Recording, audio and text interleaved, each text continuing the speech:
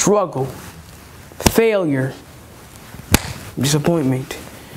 These words do not define me.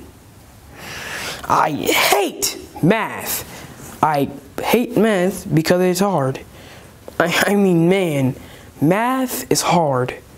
When I'm in math class, I have struggled. I failed and I've been disappointed.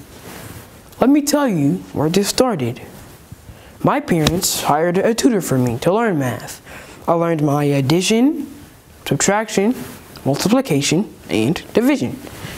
Then I got lost and I just couldn't find my way.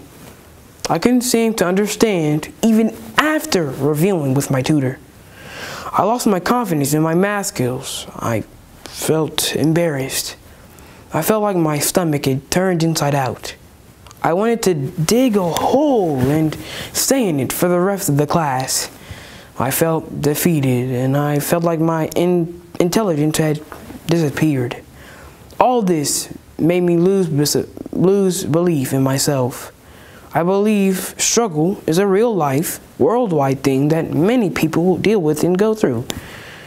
After all, I didn't just begin struggling in my life after I entered school.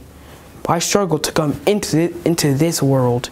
I was born premature and lived in the hospital's NICU for 90 days.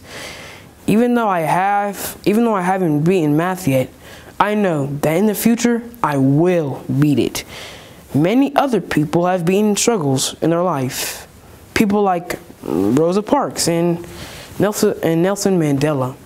Life is filled with struggles, failure, and disappointments. We can choose to not let these words define us. Struggle, failure, disappointment. These words do not define me.